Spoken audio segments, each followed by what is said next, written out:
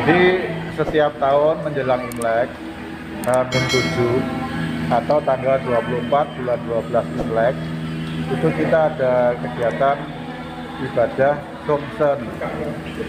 Sembahyang mengantarkan para dewa naik ke langit. Setelah itu kita baru membersihkan kelenteng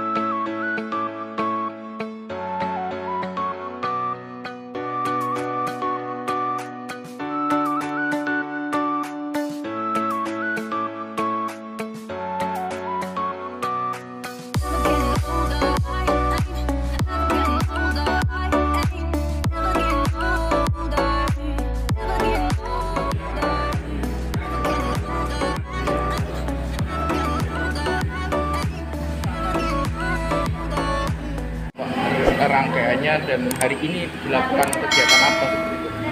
Ya, jadi setiap tahun menjelang Imlek, Hamin 7 atau tanggal 24 bulan 12 Imlek, itu kita ada kegiatan ibadah Sumsen. Sembahyang mengantarkan para dewa naik ke langit. Setelah itu kita baru membersihkan kelenteng, meja altar, rumah altar, serta patung atau lubang dari para dewa dewi. Itu H-7 menjelang Imlek. Oh, kalau pembersihan kali ini patung yang paling tua umurnya berapa Pak yang dibersihkan? Untuk usia kelenteng ini di kelenteng Dewijo Kediri itu yang tercatat di cagar budaya usianya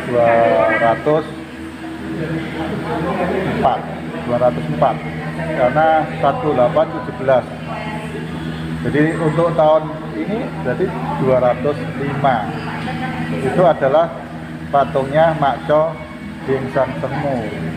Yang mana di sini adalah yang paling yang kecil itu yang hitam patungnya. Jadi tuan rumahnya kelenteng Subijo Kediri Makco Dengsang Semu Pembersihan ini dilakukan secara bersama seperti itu. Ada berapa sih Pak yang ikut membersihkan kali ini? kebersihan kita laksanakan bersama-sama bersama para umat pengurus bahu membahu itu kurang lebih ada kalau 30 orang Total patung yang dibersihkan hari ini ada berapa? untuk jumlah patungnya perkiraan sekitar 60 sampai 70 karena kita ada sekitar 16 altar ada beberapa altar yang berjumlahnya lebih dari dua Pak ini kan masih dalam kondisi pandemi ada nggak perbedaan dengan tahun lalu seperti itu untuk eh, perayaan Imleknya seperti itu? Untuk perayaan Imlek di masa pandemi kita tidak ada perayaan.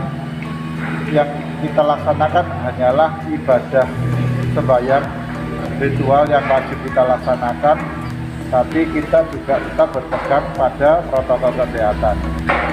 Jadi untuk jumlah umat yang nanti bersembahyang bersama-sama itu akan kita kurangi dengan cara mereka kita persilakan melaksanakan ibadahnya di kelenteng sesuai jam yang mereka bisa.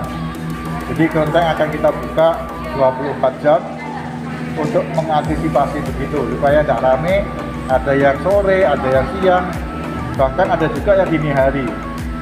Digilir seperti itu ya Pak? Ada Silakan mencari waktu sesenggangnya supaya kita bisa menjaga kerumunan agar tidak sampai terjadi kerumunan umat di kelenteng yang ada